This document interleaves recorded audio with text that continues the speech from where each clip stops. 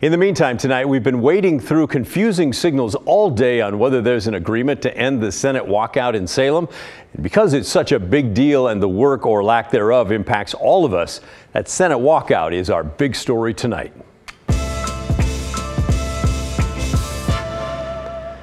There was an optimistic mood at the Oregon State Capitol today that the walkout would end. But so far tonight, no chance. It's still on. The six week boycott is the longest in state history, and it's the second longest of any state in the U.S.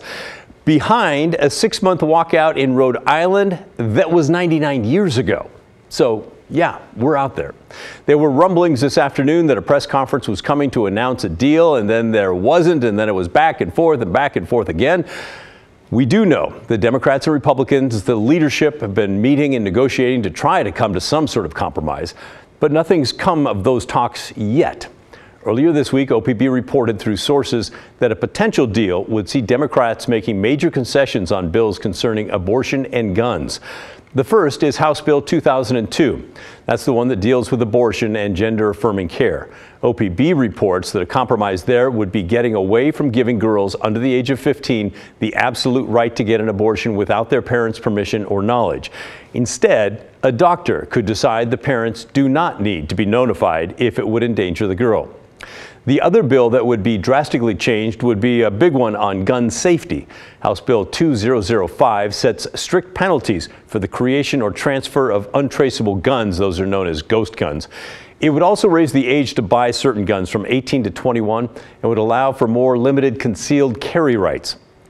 But OPB reported this week that a compromise could gut that bill to only include the provisions on ghost guns.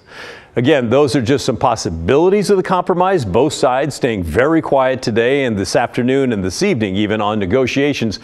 So it's very possible that none of those options bear fruit, but that's what's been floating around out there. So it's also possible that it all happens. One firm update that we do have for you tonight concerns the quorum rules in the Oregon Constitution. That's the law that allows for walkouts to have this paralyzing effect in Salem that we've seen over the past six weeks. Today, more than 40 Democratic senators and, and, representatives signed on to this resolution. If passed, it would ask voters to change the two thirds quorum requirement to a simple majority instead. We've previously shown that Oregon is just one of four states in the country to require two thirds of lawmakers in either chamber to be present for a quorum to allow business to get done. Those are the states in blue there. 45 other states in, in orange require a simple majority. And Massachusetts makes it far too complicated to even really explain it to you. Now, this latest resolution in Salem has little to no chance of passing this session. That's because there are only 11 days left in the session, and even if the walkout ends, this bill probably won't see the light of day because of all the budget bills that would require immediate attention.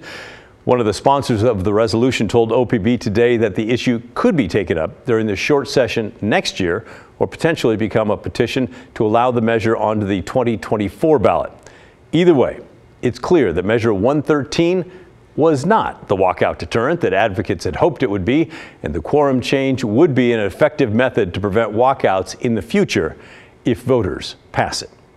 And one final note on the goings on in Salem this week. Remember how the Senate Democrats voted to fine the senators who are walking out by $325 a day? Well, that's the average daily amount that the lawmakers are getting.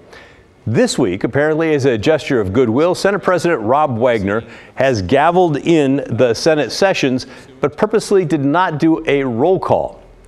That's important because that means a quorum was not even called for, meaning the GOP senators were not fined for preventing a quorum this week. Add up the past three days, and that decision by the Senate president is saving the GOP senators nearly a thousand bucks.